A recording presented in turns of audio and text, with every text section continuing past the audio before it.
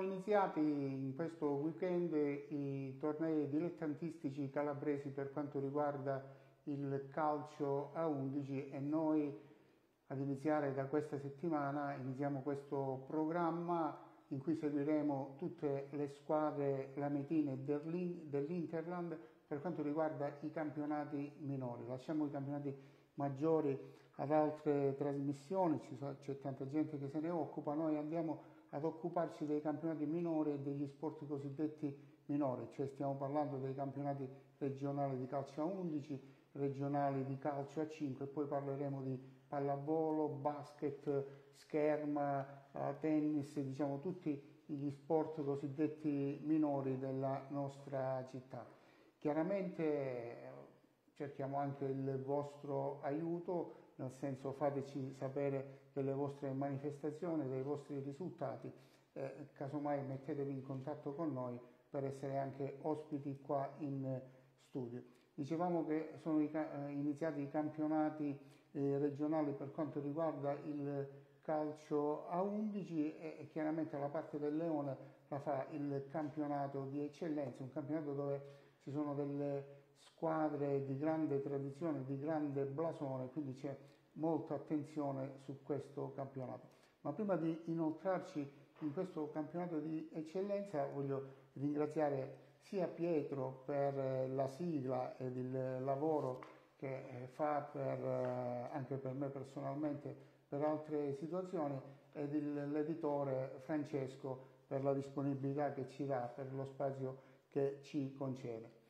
Eh, entriamo quindi a parlare del campionato di eccellenza. Eh, più tardi avremo in studio anche un ospite con noi per parlare di altro, quindi entriamo nel campionato di eccellenza e andiamo a vedere subito i risultati di questa prima giornata eh, che si è disputata eh, domenica pomeriggio.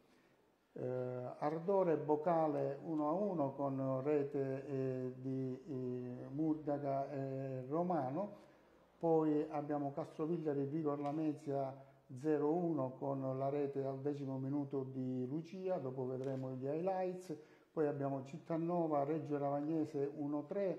eh, Praia Tortora Gioiese 3-1, Isola Caporizzuto Rende 3-0, Rossanese Brancaleone 4-1, San Luca Paolana 0-1 e Palmese Soriano 1-0. Chiaramente essendo la prima giornata eh, la classifica è molto semplice con i tre punti per le squadre che hanno vinto Rossanese, Isola Caporizzuto, Praia Tortora, Reggio Ravagnese, Palmese, Paolana e Vigor Lamezia, poi abbiamo ad un punto Ardore e Bocale Calcio, le altre a, a zero punti. È stata comunque una uh, giornata molto interessante perché c'erano degli eh, scontri davvero interessanti per, per tanti motivi. Ma uh, di questo ce ne parlerà uh, molto addentrandosi di più Igor Colombo che tra poco sentiremo perché Igor sarà il nostro diciamo, ospite tutte le settimane e sarà lui a fare il punto su questo campionato di eccellenza. Per il momento direi che possiamo andare a vedere eh, quello che è successo in Castrovillari Vigor Lamezia, uh, la Vito Lamezia ci teneva particolarmente a partire bene eh, subito con il piede giusto perché la Vito Lamezia insieme alla Gioiese, insieme alla Palmese e al Praia è una delle squadre date per favorite in questo campionato, quindi partire con il piede giusto era molto importante. Eh, dicevo che ce ne parlerà di più Igor Colombo, noi per ora andiamo a vedere gli highlights di questa partita.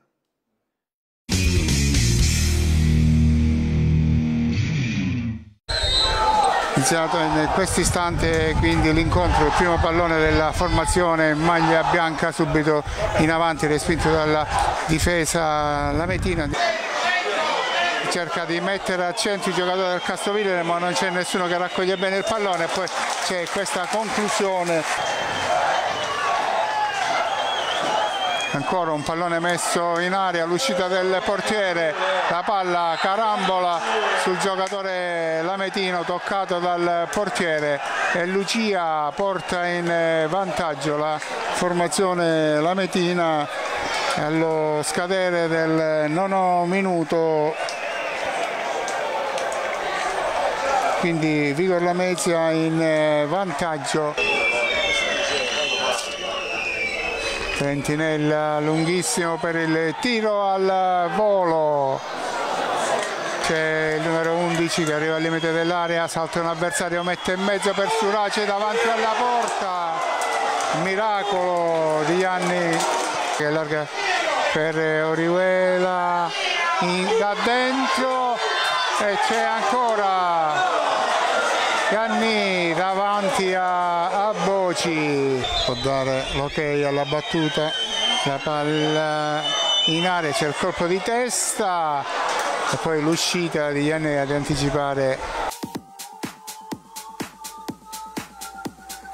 A sinistra De Fazio mette in area un tentativo di colpo di testa non riuscito bene ma ancora la Vigor che può andare al tiro con un uh, pallonetto Perez bracca l'avversario ancora De Fazio. Effettua il cross in area il colpo di testa e la bella parata di Sciarrino sul colpo di testa di Arthur. Battuto palla lunghissima colpisce la traversa era molto avanti il portiere Lametino. Batte Curcio che cercava l'incrocio dei pali la parabola in area sul primo palo. C'è questo tiro al volo.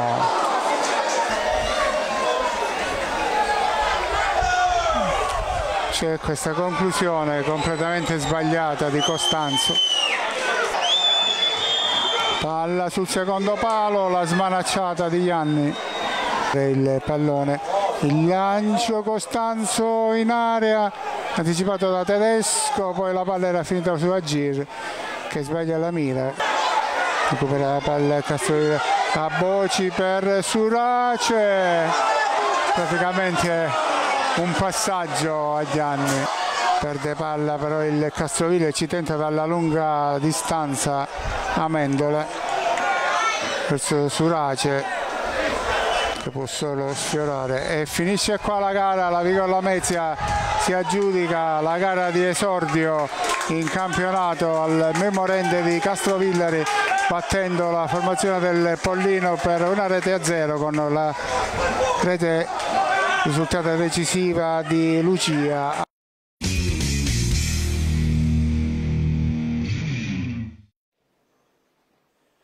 Le immagini ci hanno raccontato come la partita sia stata abbastanza combattuta con il Castro Villari che ha avuto anche le sue buone occasioni per eh, pareggiare, clamorosa quella poi nel finale, eravamo in pieno recupero al 95 con la palla praticamente poggiata al portiere Ianni e quindi bene per la Vigola Media. Ma ora facciamo il punto con Igor Colombo su questo campionato di eccellenza.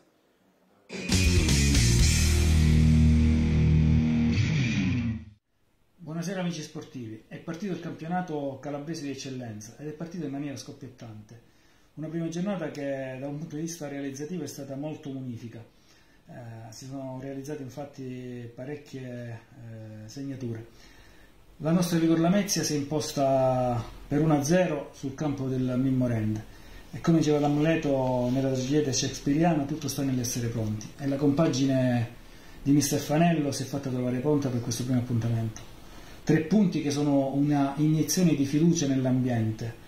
eh, che hanno riscattato un po' l'inizio dell'utente di stagione con l'inopinata eliminazione dalla Coppa Italia, che aveva fatto innervosire non poco la tifoseria biancoverde. Questa prima giornata eh, una nota positiva viene dai giovani dall'autore della rete che ha regalato i tre punti alla formazione biancoverde, Lucia, un nostro prodotto, un prodotto della società biancoverde. È su questo che la Vigor Lamesa dovrà puntare, far crescere i giovani in casa, eh, farli maturare eh, per poi avere un, uh, un, futuro. Un futuro che speriamo sia sempre più importante e che ci riporti nelle categorie che questa squadra e questa città più merita. Eh, è stata una gara quella di ieri al Mimorende non facile, il Castrovillari si è battuto allo strenuo eh, nonostante eh, i problemi societari, eh, contro una Vigor Lamezia che eh, registrava accanto suo anche importanti assenze. eh, per via degli squalificati, ma che si è fatto trovare pronta e decisa in questo primo impegno. Per quanto riguarda il resto della giornata, si è registrato un solo pareggio, quello tra Ardore e Bocale, è una importante vittoria, eh, se non sorpresa poco ci manca, del Praia Tortora contro la Gioiese, un'altra delle favorite della vittoria finale di questo torneo per 3 a 1. L'altra favorita, la Palmese, si è imposta sul Soriano per 1 a 0. Risultati che mh, mm, subito balzano all'occhio in questa mh, mm, prima giornata sono uh, la rotonda vittoria della Rossanese contro il Brancalone per 4 a 1 e anche la vittoria esterna della Paolana sul campo del San Luca così come la vittoria esterna con un Reggio Ravagnese Corsaro sul campo del Cittanova per 3 a 1. Siamo contenti per questa vittoria della Vigor Lamezia e speriamo che sabato prossimo o domenica, quando sarà il turno di campionato, eh, la Vigor Lamezia riesca a bissare eh, il successo contro il prossimo avversario che sarà la Rossanese. Gli auspici, eh, eh, l'auspicio è questo e gli auspici di una piazza che vuole risorgere vuole che insomma, questa squadra torni nelle categorie che più gli competono. Ieri la tifoseria è stata presente come sempre al Mimorende eh, in buon numero, eh, si è fatta sentire, non mancando anche di esporre lo striscione di contestazione, ma questo penso che sia il refrene che vedremo durante tutta la stagione. L'importante è che la squadra risponda sul campo e che la Vigor Lamezia possa mantenere da questa prima giornata la testa della classifica fino alla fine. Amici sportivi, ci vediamo lunedì prossimo. Buonasera.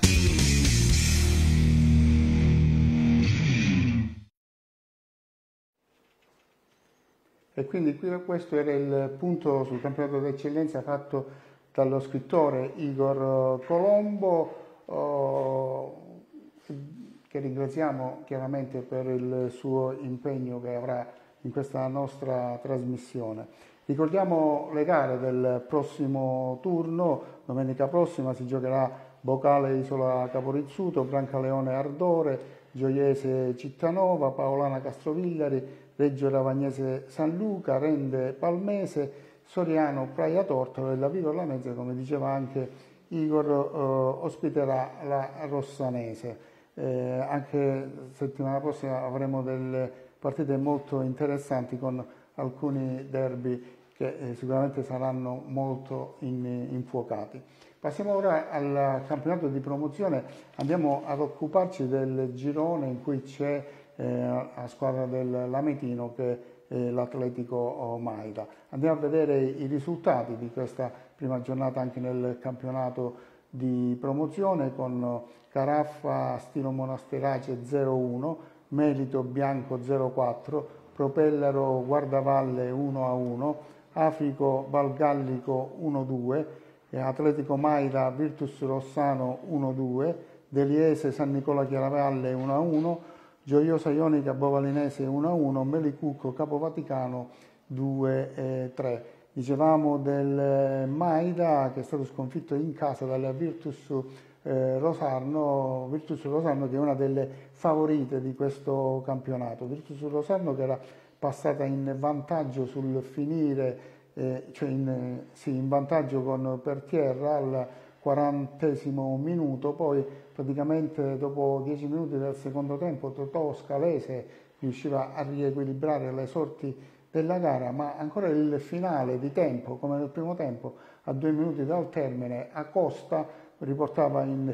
vantaggio la Virtus uh, Rosarno e poi scoppiavano un po' di polemiche a fine partita insomma, sull'andamento di, di, questa gara. Eh, c'è stato anche difficile poi avere delle dichiarazioni a, fine partita, ma eh, contiamo nel futuro di avere anche delle eh, dichiarazioni da parte dei giocatori e del tecnico del, del Maida.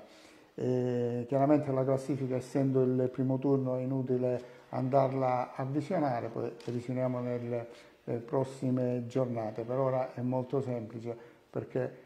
sono i primi tre punti per chi ha vinto. Nel prossimo turno avremo Bianco Propellero, Bovalinese Maida, Guardavalle Melicucco, Capo Vaticano Caraffa, San Nicola Chiaravalle Gioiosa Ionica, Stilo Monasterace Deliese, Valgalli Comelito e Virtus Rosarno Africo.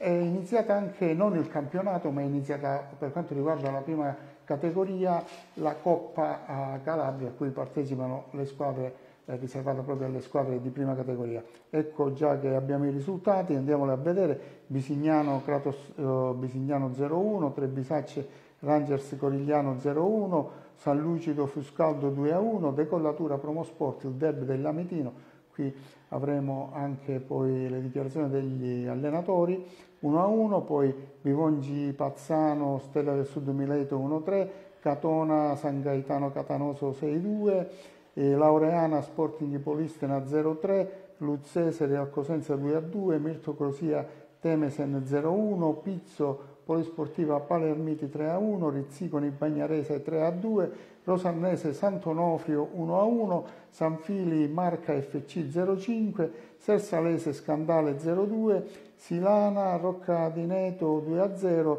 eh, Taurianova Academy Città di Siderno 2-0. Dicevamo di questo derby dell'Ametino che c'è stato tra uh, Decollatura e Promosport, possiamo vedere anche qualche immagine dell'entrata in campo delle eh, due squadre, eh, due squadre che ancora diciamo, sono un po' in ritardo, hanno iniziato un po' in ritardo, eh, gli allenatori ancora aspettano anche qualche eh, rinforzo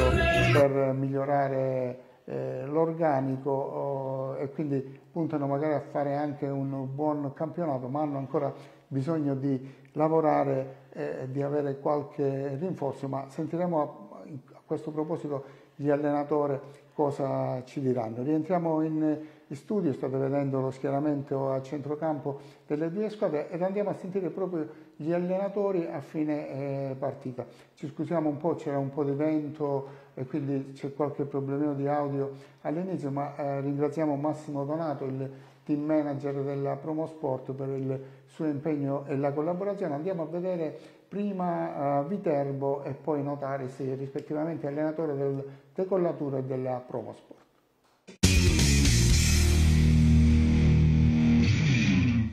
Siamo qui con mister Leonardo Viterbo, allenatore del Decollatura, al quale chiediamo subito a caldo un giudizio sulla gara, finita, terminata 1-1 proprio negli ultimi minuti.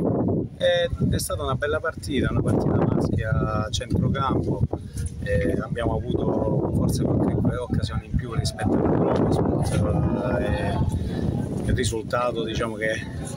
sta un pochettino stretto ma non fa niente, a noi ci serviva soprattutto come test per capire la condizione fisica e poi eh, andare avanti con la Coppa a noi non ci interessa ma comunque non giochiamo per perdere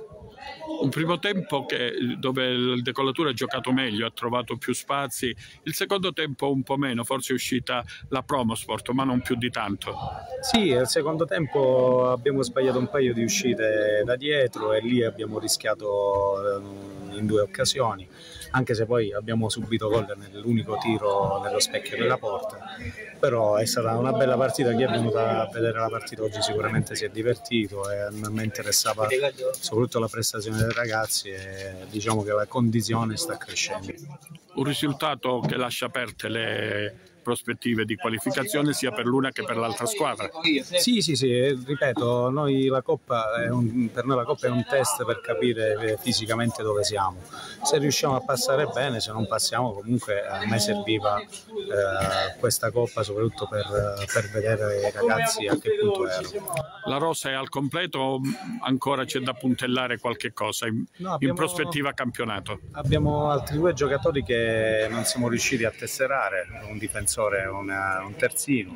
e in più stiamo cercando di prendere un altro giocatore in avanti e poi credo che chiuderemo qui la rosa. Ambizioni di campionato? Salvezza tranquilla, nel minor tempo possibile.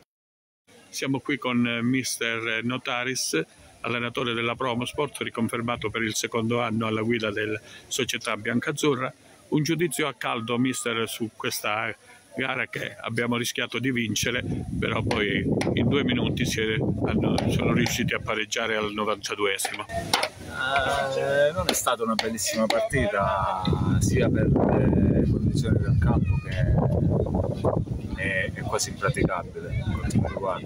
sia per la condizione fisica delle due squadre che ancora naturalmente non è, non è, non è al massimo.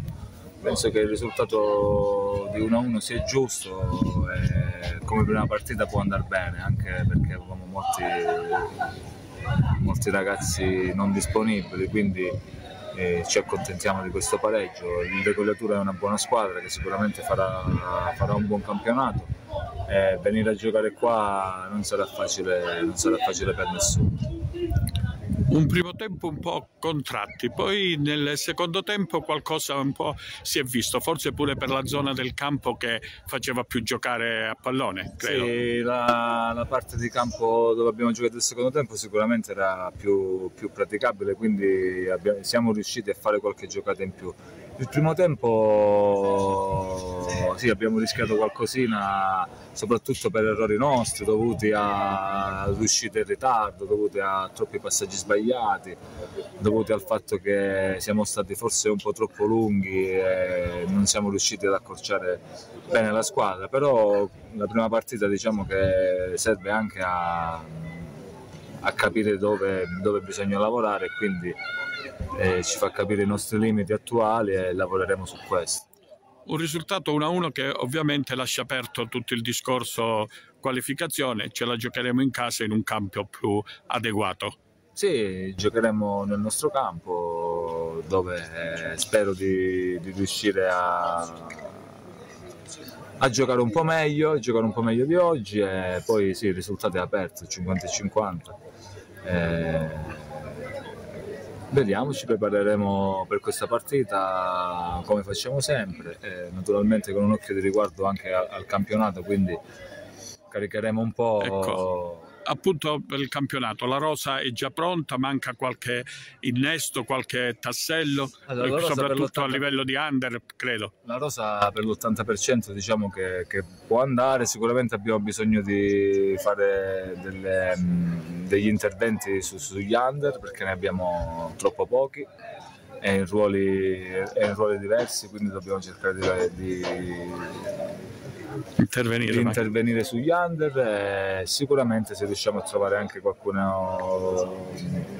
su, su, sull'esterno ci manca un'altra persona sull'esterno. Per il resto penso che resteremo questi. Ambizioni per quanto riguarda il campionato?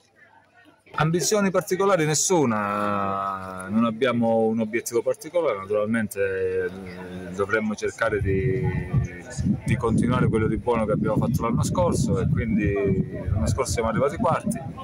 io spero di, di fare qualcosina in meglio, poi gli obiettivi ce li diamo man, man mano che andiamo avanti.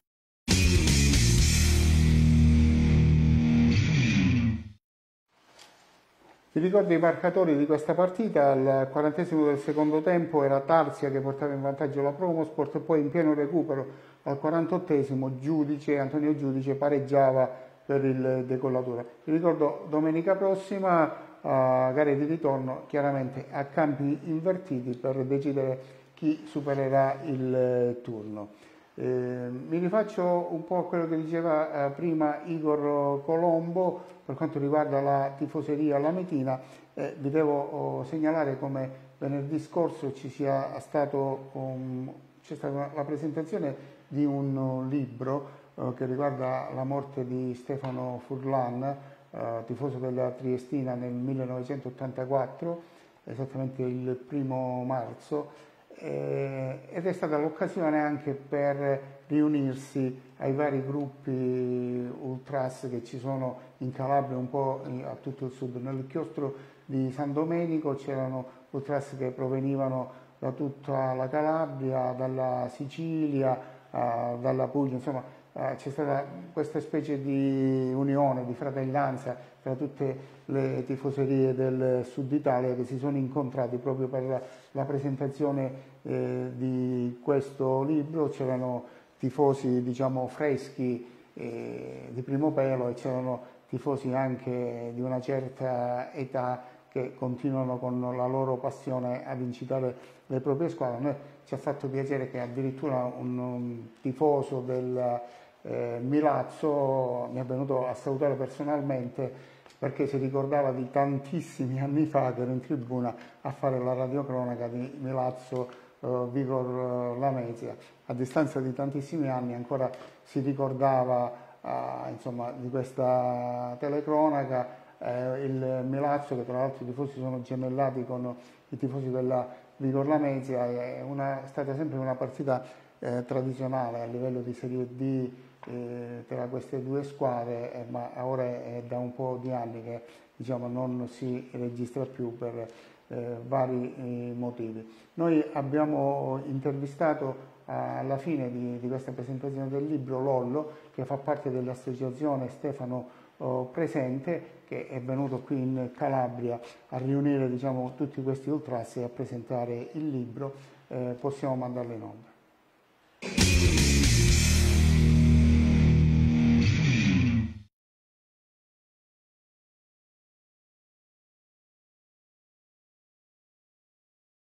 Presentato nel chiostro di San Domenico il libro Una notte lunga 40 anni a cura dell'associazione Stefano Presente. È stata una bella serata che ha dato anche lo spunto per riunirsi a tanti gruppi ultra della Calabria ma del sud Italia perché c'erano ultras anche dalla Sicilia, dalle altre regioni vicine. Quindi è una serata bellissima e di questa iniziativa, di questo libro che vuole ricordare i 40 anni eh, dell'omicidio diciamo di Stefano Furlan, ce ne parla Lollo proprio dell'associazione Stefano Presente. Perché questa necessità di scrivere un libro per eh, questi 40 anni da questo diciamo, fatto poco felice? Perché secondo noi scrivere, far emergere sempre queste verità, comunque queste forme anche di ricordo che dopo 40 anni hanno unito come questa sera tifoserie anche rivali. Ci ha fatto capire che questo mondo deve essere anche messo in maniera sicuramente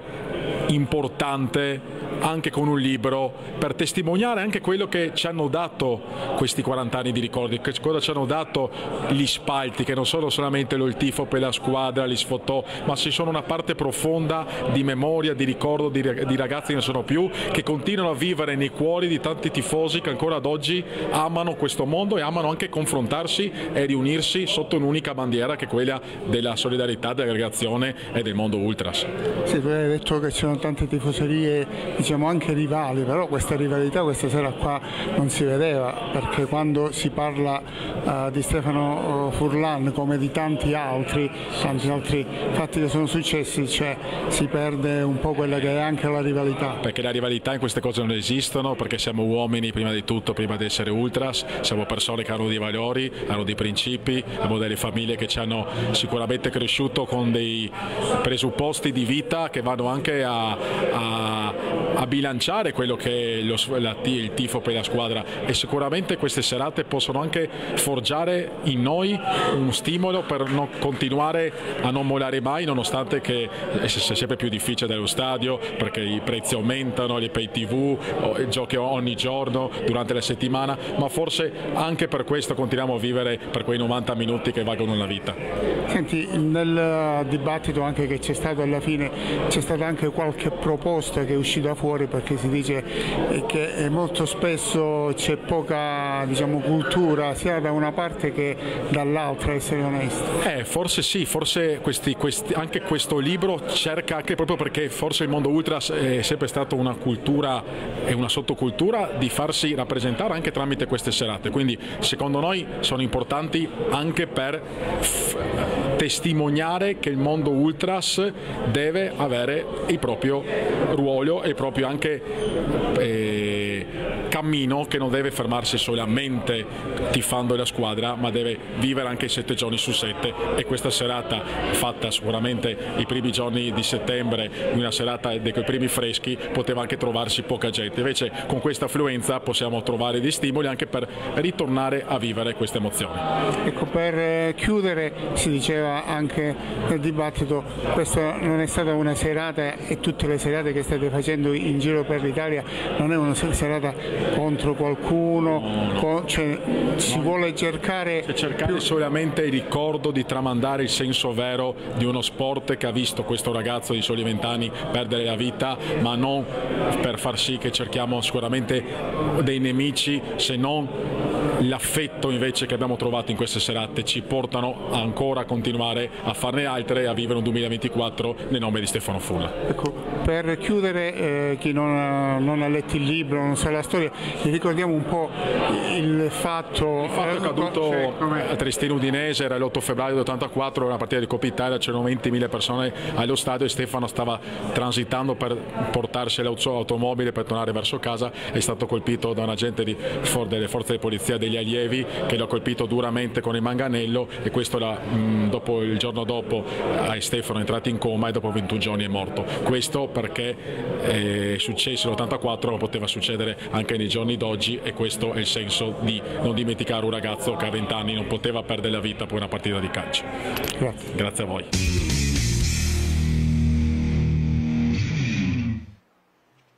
Con questo servizio chiudiamo la parentesi che riguarda il calcio a 11 e passiamo a parlare di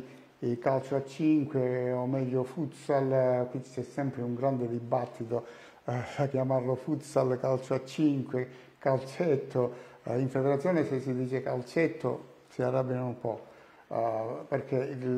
vero nome sarebbe futsal, nemmeno calcio, calcio a 5. Per parlare di calcio a 5 e di bici soccer abbiamo in studio con noi Walter Pellegrino che è il Deux ex macchina del l'ICR Lamezia, possiamo dire così. Buonasera a te, buonasera a tutti. Allora, prima di parlare di calcio a 5 parliamo di bici, lui è ancora in tenuta da bici, estiva, anche se fuori sta piovendo, eh, però siamo ancora diciamo in estate. Allora, parliamo prima di tutto eh, di bici perché eh, la stagione del calcio a 5 vecchia è finita con grandi risultati, promozione dall'Ac2 all'Ac1, titolo regionale Under 17, allenatore della rappresentativa, insomma abbiamo fatto il pienone, abbiamo fatto il pieno eh, nella passata stagione. Poi l'estate ci si dedica a questo beach, beach social dove sono arrivate grandissime soddisfazioni per il secondo anno consecutivo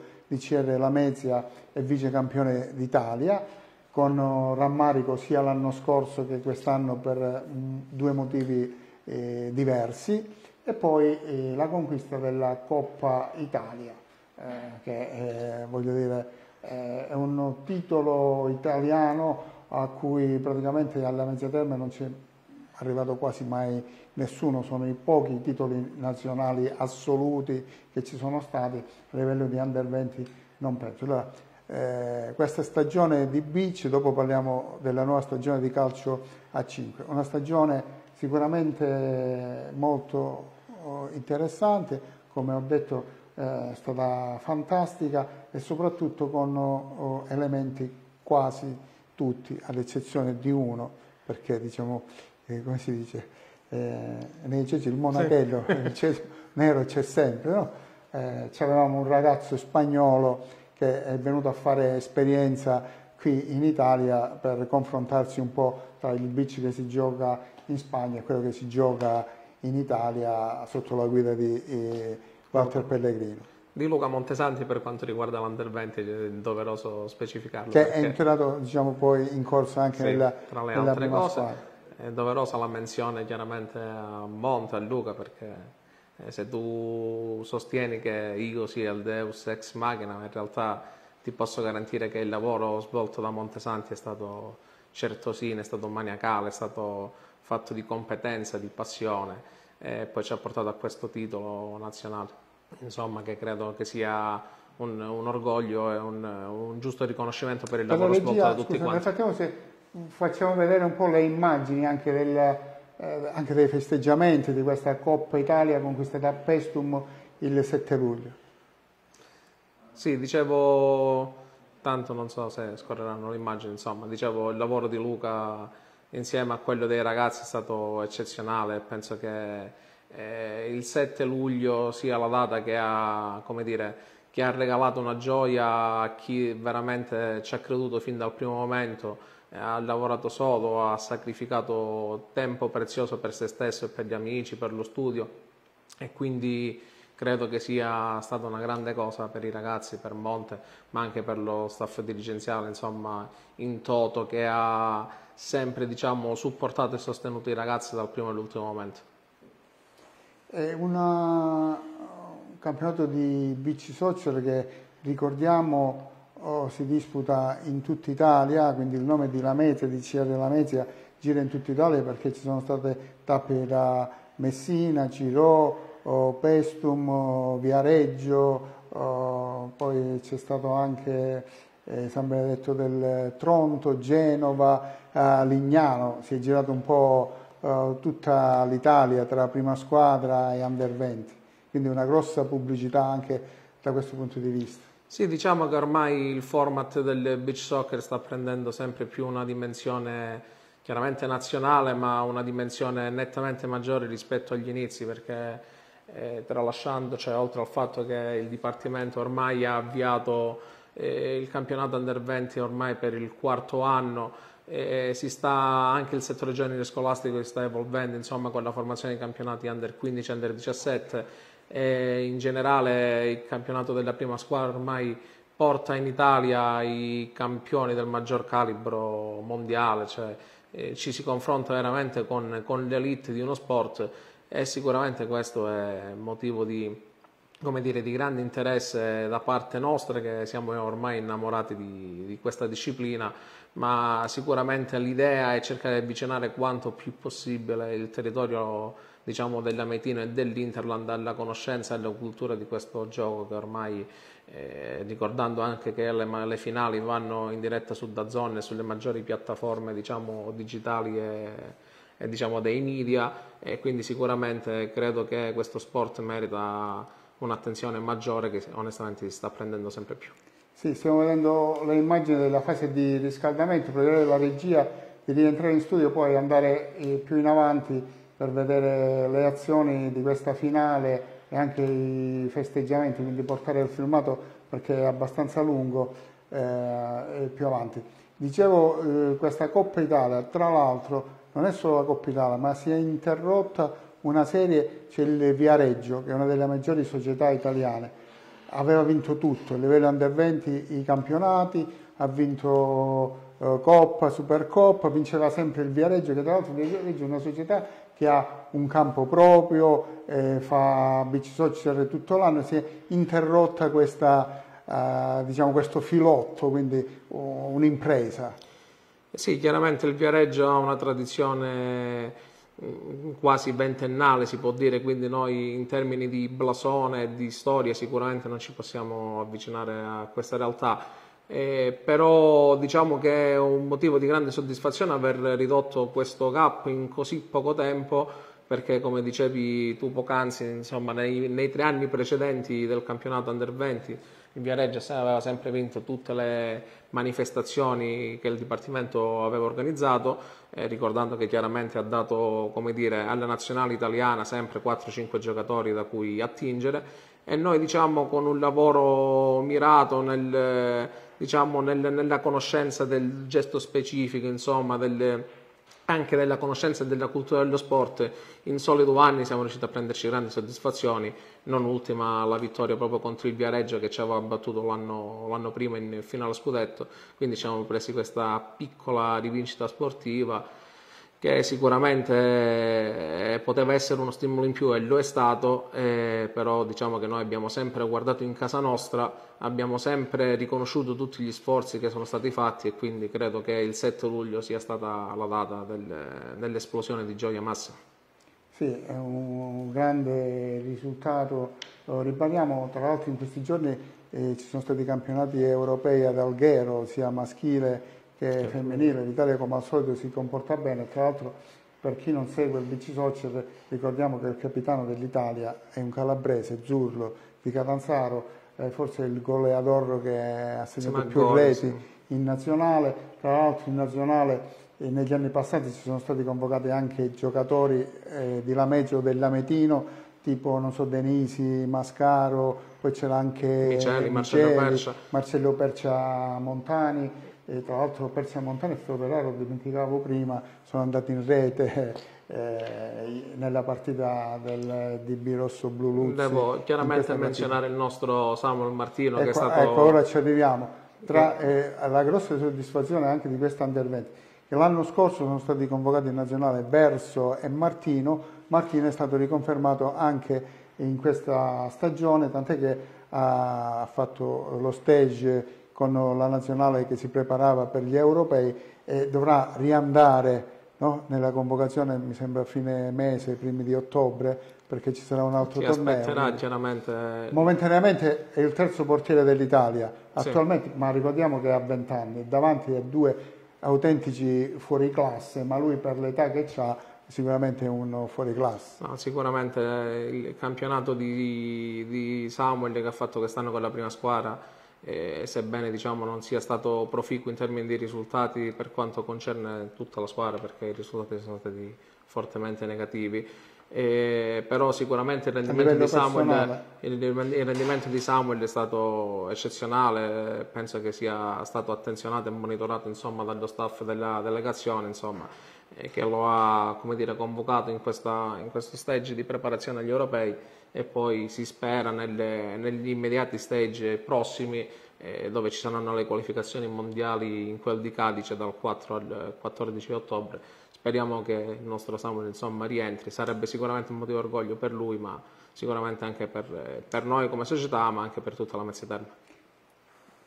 Il Cere la Mezza che piano piano si sta avvicinando alle grosse società di bici soccer, però le grosse società di bici soccer hanno il vantaggio, tipo Lazio e Viareggio, di avere a disposizione degli impianti su cui lavorare tutto l'anno e non solo i tre mesi estivi. Mi sembra che anche l'ICR da questo punto di vista si sta muovendo. Si prova diciamo, chiaramente a fare il massimo perché poi per stare nell'elite di uno sport chiaramente si deve essere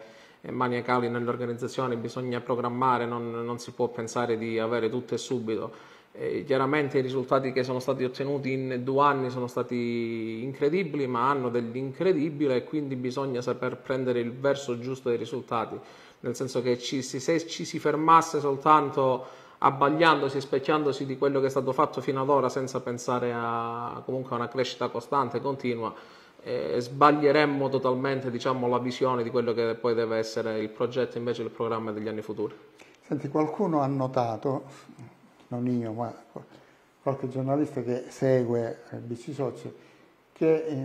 i giocatori di BC Socio nella maggior parte dei casi durante l'inverno giocano a calcio a 11 e ha notato come invece l'ICR si stia portando i giocatori di beach a giocare a calcio a 5 di modo da poterli avere a disposizione per tutto l'anno, prima per giocare indoor eh, a calcio a 5 e poi per eh,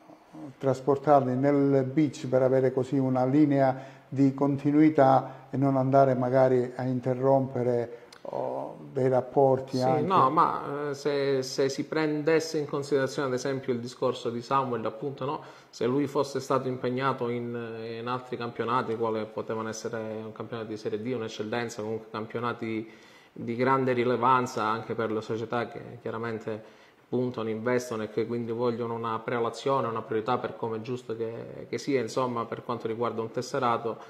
eh, chiaramente poi diciamo avrebbe avuto qualche problemino logistico più, più diciamo. di qualche problema ma per come è giusto e lecito insomma poi chiaramente il, il palcoscenico della nazionale raggiungere l'apice insomma l'elite di uno sport chiaramente eh, quando ti rendi conto credo che tu sei là a portata di mano credo che un ragazzo insomma faccia determinate valutazioni chiaramente. Quindi penso che tutta questa valutazione sia stata fatta proprio in ottica di, di, continuare a stare in questo cerchio ristretto elitario di questo sport. Eh, vorrei ricordare anche come per esempio un tesserato della Vigor, Fabio Denisi, sia stato convocato anche lui diciamo, in questo stage di preparazione agli europei e quindi fino a quando magari si trovano società che consentono magari di andare, fermo restando che chiaramente rispondere a una chiamata della nazionale è obbligatorio da parte della società di appartenenza, ma in generale eh, diciamo che poi però giustamente una società può far valere diciamo, la prelazione sul proprio tesserato perché mi sembra anche dai, giusto doveroso dopo che comunque soprattutto con questa riforma dei contratti comunque ci sono investimenti importanti e quindi chiaramente ognuno guarda anche ripeto giustamente in, in casa propria però allo stesso modo un giocatore può decidere insomma che futuro avere, quale, quale porta principale aprirsi e quale altra chiudere. Parlando di bici, magari qualcuno si aspettava che eh, aprivamo un, una parentesi, una porta, non lo facciamo, non ci interessa fare polemiche, andiamo avanti, eh,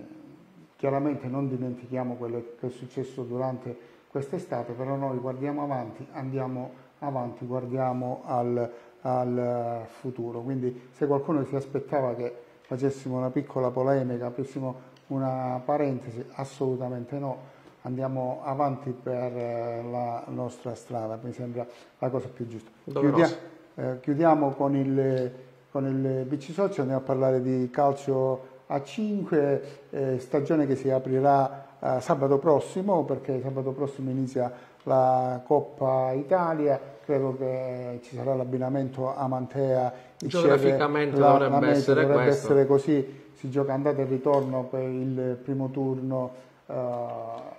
tra giorno 22 e giorno 29, poi giorno 5 ottobre inizia il, il campionato. Eh, questa squadra di calcio a 5 molto, molto rinnovata rispetto allo scorso anno, con tanti giocatori che arrivano dal calcio a 11, lo possiamo dire, sì. in particolare di una squadra in particolare, però sono No, scelte. non è questione di, credo che eh, si, quando si cambia sport o comunque quando si prendono determinate strade bisogna anche analizzare i casi in maniera singola, no? nel senso eh, potrei portare l'esempio di Vincenzo Villella come eh, abbia totalmente deciso di cambiare percorso di vita, quindi non credo che c'entri una società, una squadra, uno sport piuttosto che un altro, semplicemente ci sono scelte che credo abbiano la priorità, sono le scelte poi della vita quotidiana, insomma del percorso di vita che ognuno decide di fare, ma come dicevo di Samuel, come potrei prendere tanti altri casi nello specifico. E abbiamo, come dicevi, una squadra rinnovata, una squadra giovane, cioè che eccezione fatta per Villella appunto, per eh, Montesanti e Decario che sono classe 97, il sempre eterno bentornato, eh, poi per il resto abbiamo una squadra praticamente di millennials eh, quindi da, nati dal 2001 in giù. E ci affrontiamo, ci accingiamo ad affrontare questo campionato di C1 che è il massimo campionato regionale che per noi è una novità. Eh, e in quanto novità siamo praticamente un'incognita, un'incognita perché non, non l'abbiamo mai fatta questa categoria come società, molti ragazzi si accingono non solo a disputare per il primo anno questo campionato ma in generale per il primo anno a giocare su parquet con pallone rimbalzo controllato.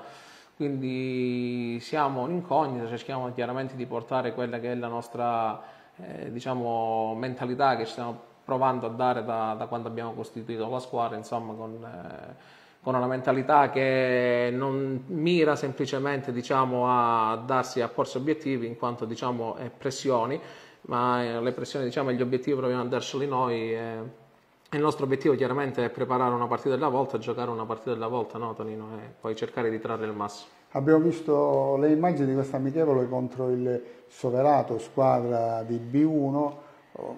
B1 di B costruita per l'eventuale salto di categoria. Uh, non vi diciamo il risultato, ma se avete visto le immagini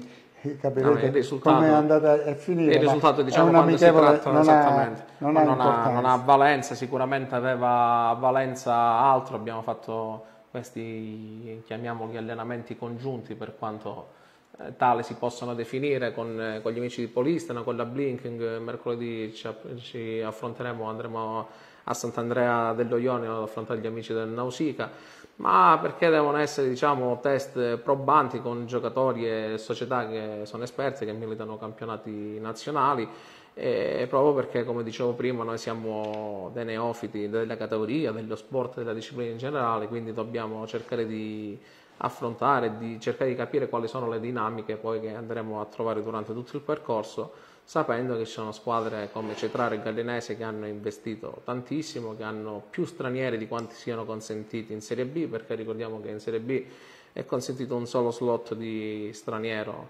eh, di extracomunità comunque di straniero diciamo in generale, mentre in C1 nel campionato regionale questo limite non c'è, questo vincolo non c'è, quindi il Cetraro eh, ha a disposizione Leo Costa e Bella Valle, la Gallinese il portiere argentino e Zamboni. Quindi diciamo, andremo ad affrontare con, compagini con grandissimi obiettivi, però come dicevo prima noi con, eh, con il nostro modo di essere no? molto, molto spensierato, molto, molto giovane, un approccio un po' diverso diciamo, da quello che si vede un po' eh, solitamente negli spogliatoi, cerchiamo di portare avanti il nostro credo. Stato bravissimo perché mi hai bruciato la domanda successiva che era quella quali sono le squadre favorite, hai già detto di Gallinese, di Cetraro. Cetraro. No, ma sono, sono tante, uno stanno, credo sarà un grandissimo campionato perché Vabbè, Cetraro e Gallinese basta per chi è diciamo, del settore o comunque basterebbe guardare semplicemente una sola partita per capire di, di che blasone di, di squadre stiamo, stiamo, parlando, però sicuramente altre squadre come l'hanno Fabrizio che l'anno scorso è andata vicino ai playoff e quest'anno si è rinforzata, e la Cariatese che credo andrà a puntellare la rosa con qualche giocatore argentino, ma potrei menzionarne tantissime, fare semplicemente una lista di salviniana memoria, no Tonino? Quindi non... Eh, è inutile elencare, sicuramente basta dire che sarà un campionato dove nessuno regalerà niente e non ci sarà mai una settimana che noi potremo preparare in maniera un po' più tranquilla, sapendo che magari affrontiamo una partita molto più leggera il, il sabato, invece sarà tutto, tutto d'un fiato. Per gli amici sportivi amanti del futsal ricordiamo che anche quest'anno come lo scorso anno su STV potrete seguire poi le partite dell'ICR di questo campionato di C1 un campionato che voglio dire eh, di C2, C1,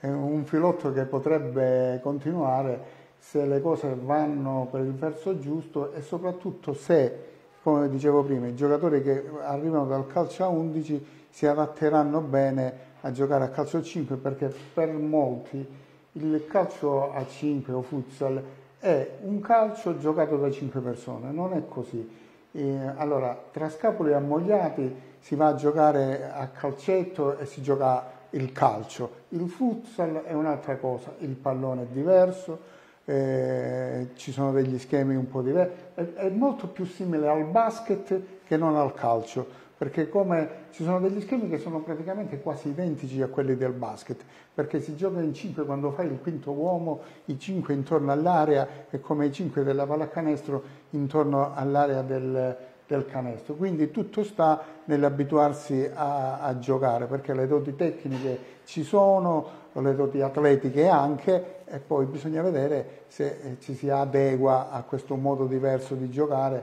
perché come nel basket eh, bisogna difendere e attaccare. No, confido molto nelle, nell'attitudine diciamo, dei, dei, ragazzi che sono dei ragazzi splendidi che ormai hanno sposato questa causa insomma, e quindi eh, credo metteranno il massimo impegno perché ormai sentono questa squadra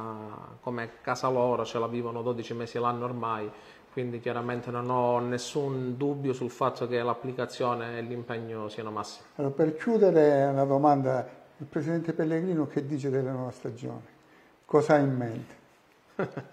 Grande domanda. Vorrebbe vincere sempre. Eh, non credo che esista qualcuno che giochi per perdere, quindi la domanda mi sembra un po', un po particolare, però battute a parte, diciamo, non, come ti dicevo prima, noi non abbiamo pressioni che qualcuno diciamo, esterno mette, non abbiamo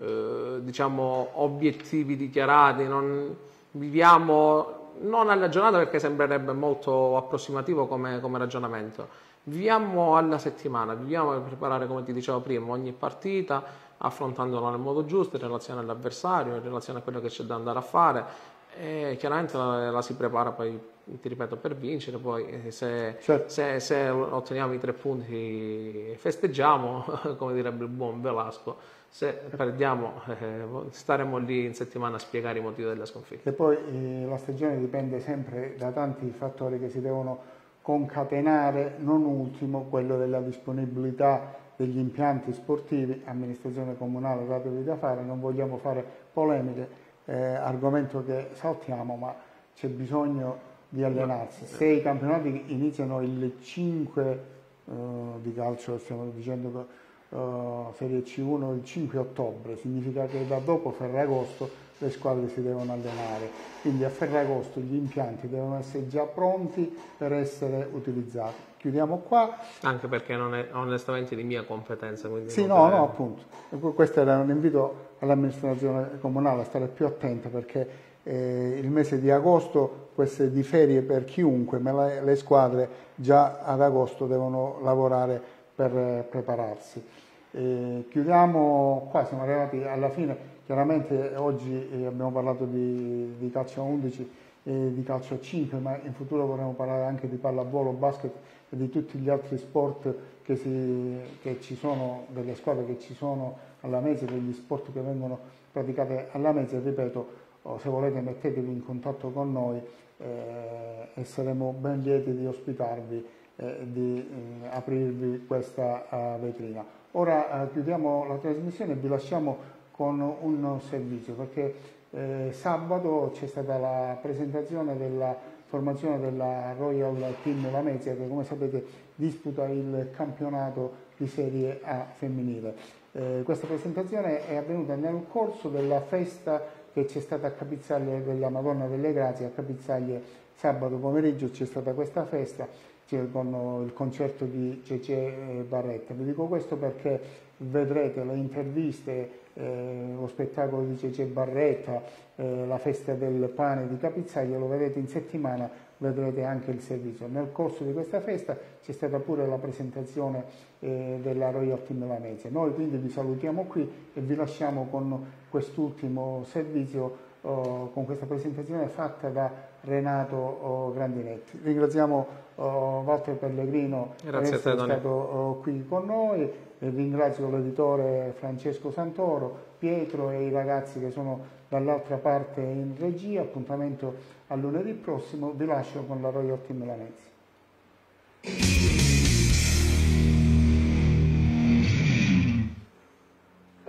Pietro Raso, collaboratore, salve a tutti. Ciao, sono Federica, il vice capitano e vi saluto a tutti. Salve a tutti, sono Sofia e Forza Royal. Ciao a tutti, sono Lucrezia e Forza Royal. Ciao, sono Miriam, un saluto a tutti. Ciao a tutti, sono Anna da Cunha. Buonasera a tutti, io sono Valentina, la team manager della Royal Team Lamezia. Buonasera, sono Nadia, dirigente. Buonasera, Giampiero De Sarro, direttore operativo. Perfetto, facciamolo questo applauso, è una realtà lametina importante che ha bisogno del supporto di tutta la Calabria, non solo di Lamezia, perché ripeto ancora una volta è l'unica squadra calabrese a giocare in un campionato di Serie A femminile e quindi questo è un grande onore e un gran piacere adesso averli qui a Capizzagli nella presentazione ufficiale di questa squadra. Nicola, chiudere col tuo saluto finale. Un piacere stare qui qua sopra e ora mm, diciamo, eh, passiamo la parola a Cece Barretta o, o c'è qualcun altro prima, quindi buon divertimento, buona serata e vi aspetto al palazzetto, grazie. Grazie, grazie a questa meravigliosa squadra che ci lascia, grazie di cuore, in bocca al lupo, ci rivedremo sicuramente su STV per fare altre cose importanti con voi.